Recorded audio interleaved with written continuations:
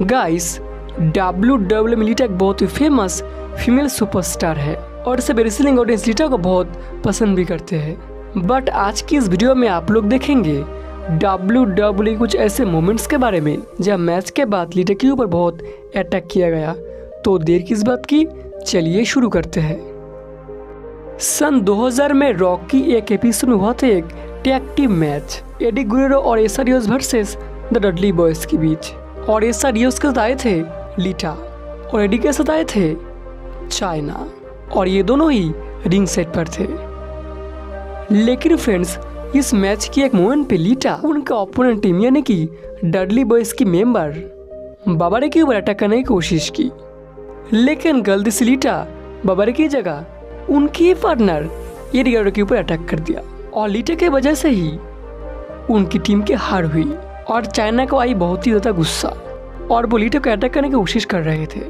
लेकिन तो पीछे से टेबल लेकर आए डडली बॉयज़ और डडली बॉयज़ को देखकर चाइना लीटा को छोड़ दिया।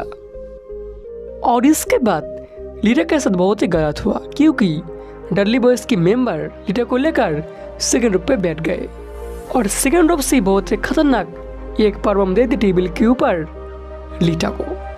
और लीटा की हाल एकदम खराब हो गई थी। और डिवोन का हाल कुछ ऐसा था मतलब कि मज़ा आ गया भाई, मौज कर दी बेटे। लेकिन इसकी इम्पैक्ट बहुत ही खतरनाक था लीटा के ऊपर।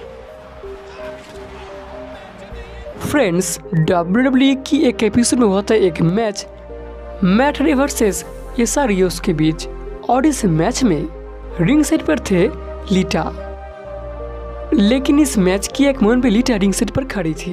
और तभी गलती से। एसा रियोस हमला कर दिया लीटा के ऊपर। और इसी डिस्ट्रैक्शन की वजह से एसा रियोस इस मैच में हार गए थे। और ए रिज़ल्ट उनको है बहुत ही ज़्यादा गुस्सा। और लीटा को लेके रिंग में चले गए। और दिया एक बहुत ही खतरनाक पावर पम्प और इसके बाद दिया पॉप रोप से एक स्लैश और एसरियस बहुत ज़्यादा हमला करने की तैयारी में थे। लेकिन तब लीटा को बचाया, द हार्डी बॉयज़, और दोनों भाई मिल लीटा को लेके वहाँ से चले गए। फ्रेंड्स, रॉकी एक एपिसोड में देखने को मिला एक match, Stacy Keibler versus Lita के बीच। हालाँकि मैच के शुरू में स्टेसी केवल डोमिनेट किया, लेकिन इस मैच में एक वक्त ऐसा था है जब जब लीटा स्टेसी केबलर को रिंग से बाहर कर दिया, और उसके वजह से लीटा उनको स्लैश मारने की कोशिश करने लगे, तब खुद ही फंस गए। और कैसे ही देखते आज की अगर पसंद आई तो लाइक कर देना और चैनल को सब्सक्राइब ज़रूर करना। Thanks for watching